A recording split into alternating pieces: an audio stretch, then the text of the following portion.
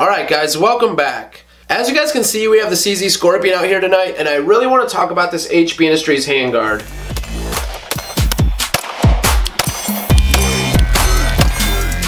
For me personally, the quad rail type handguard that comes on the CZ Scorpion from the factory really never bothered me. I mean, it was something that I always felt could be improved upon, but it really was never that big of a deal. Now this handguard does have a lot of pros in my opinion. There are also a couple cons, but I would say the pros far outweigh the cons.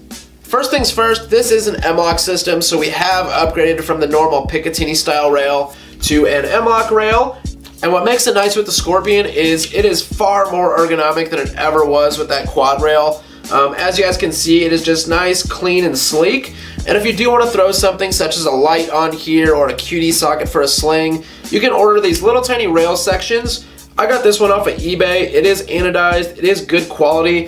I think I paid like 8 bucks shipped. HB Industries decided to make this out of 6061 aluminum. So honestly, it's quite thick, but because it's aluminum, it's a very, very lightweight rail. HB Industries does offer to sell this handguard as just the shroud. Now they primarily do that due to the fact that, say like right now, I bought the whole entire system, okay? So I have the mounting system, the rail. Down the road, I want to go to a K conversion, you know, a shorter handguard. I could just buy the shroud for the K instead of buying the whole system. Now, if you're gonna buy this system, you know, new to replace your factory handguard, you do need to buy the complete kit. So you're gonna get the actual shroud on the outside here, then on the inside, we have a little, pretty much square lug. Okay, it's gonna sit on top of your barrel lug, and it has four screws on each side that are gonna mount into that.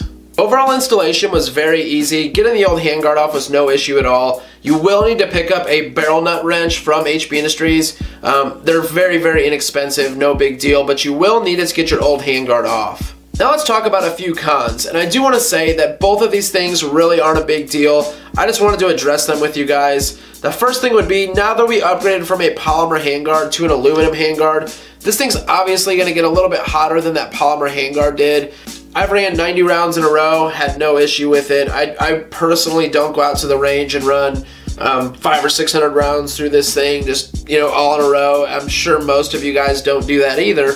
So that's something that's really not too big a deal. Now the next thing I want to talk about is the charging handle. Now if you upgrade to the HB Industries rail and you have an upgraded charging handle such as like an HB Industries Theta, something like that, basically an aluminum charging handle, you will more than likely have to go with a polymer charging handle or at least go back to your factory charging handle due to the fact that it will rub on the aluminum. So you're basically going to get aluminum on aluminum. It's not going to want to charge very, very easily. So I just went ahead, put this polymer charging handle on there so I didn't have any issues. I have talked to the guys over at HB Industries and they say it doesn't happen with every one of them. I don't know what that's due to or what the difference would be, but I would go ahead and recommend keeping your factory charging handle on. Now HB Industries makes these rails in a few different lengths. They do make a rail for the micro K conversion barrels. Um, very, very short rail. I'm personally not into that. I do think it looks cool, but I really wouldn't want to do that to this gun. They also make this mid-length here, which is like a 6.84. This rail is going to be for your pistol type CZ Scorpions. And then they also make a full carbine length rail. Now what's cool about these is these are made wide enough to fit a suppressor in there. Maybe that's something I would do down the road and I have seen where guys suppress these and then the carbine length rail fits over the suppressor leaving just a little bit hanging out. I know like Tim from Military Arms Channel has done that and it looks sweet. I think we've pretty much covered everything. I do want to mention these are Type 3 hard anodized. I have thrown it around a little bit, you know, going to and from the range, um, getting thrown in the safe, things like that, and I haven't noticed any wear marks so far. Now with that being said, I want to give the guys over at HB Industries a huge thank you for sending this rail out. I did the review on the P10C trigger, and after that they're like, man, if you want to review anything else, let us know. And I was like, I definitely got to check out their CZ Scorpion handguard. If you guys are interested in this handguard, I will leave a link below. Definitely check out HB Industries. If you haven't seen like their triggers for the Scorpion, their charging handles, they're making some really cool stuff for the CZ Scorpion.